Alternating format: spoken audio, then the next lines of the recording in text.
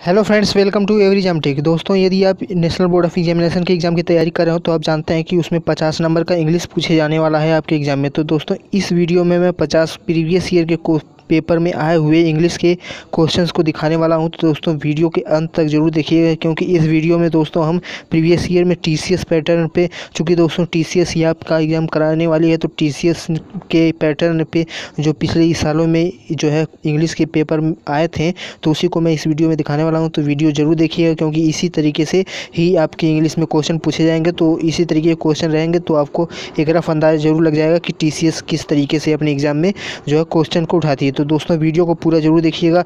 दोस्तों, यदि आप नए हो हमारे चैनल पर तो तुरंत चैनल को सब्सक्राइब कर लीजिए, मात्र एक सेकंड का समय लगेगा।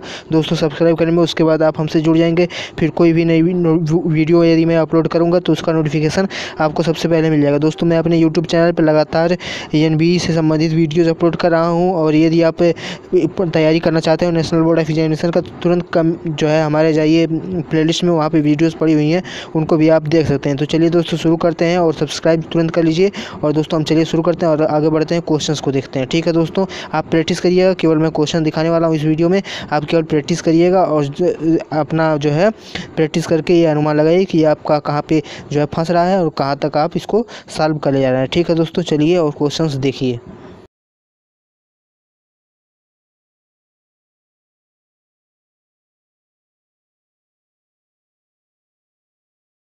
दोस्तों, इस वीडियो में दिए गए सभी क्वेश्चंस पे मैं तीन सेकंड का समय देने वाला हूँ। तीन सेकंड में मैं अगला क्वेश्चन तुरंत लेते आऊँगा। तो दोस्तों, यदि आप जो है इन सवालों को हल करना चाहते हैं तो तुरंत दोस्तों, जिस भी क्वेश्चन को आपको सॉल्व करना हो, उस पर तुरंत वीडियो को पोज करिए उसके बाद उसको सॉल्व करिए, फिर आगे बढ़िए। दोस्तों, मैं केवल प्रैक्टिस करा रहा हूँ। वीडियोज़ को, मैं क्वेश्चन को यहाँ पर सॉल्यूशन में नहीं दे रहा हूँ। सॉल्यूशन आपके जो है, जो ऑप्शन है, वहाँ पर सही किया गया है। जो भी सही ऑप्शन है, वो सही किया गया है। ठीक है दोस्तों, आपको एक रफ अंदाज़ा लगाने के लिए आपको जो है किस तरीके से पेपर पूछा जाएगा, इसका अनुमान देने के लिए ही मैं मैं इस वीडियो को बना रहा हूँ। तो इस वीडियो को बनाने का उद्देश्य यही है तो आप ज़रूर देखिए क्वेश्चन को सॉल्व करिए दोस्तों। लगातार स्क्रीन पर आपके शो हो रहे हैं क्वेश्चन इनको आप सॉल्व करिए और वीडियो के अंत में ज़रूर ये बताइएगा कि कितने आपके क्वेश्चन सही हुए हैं।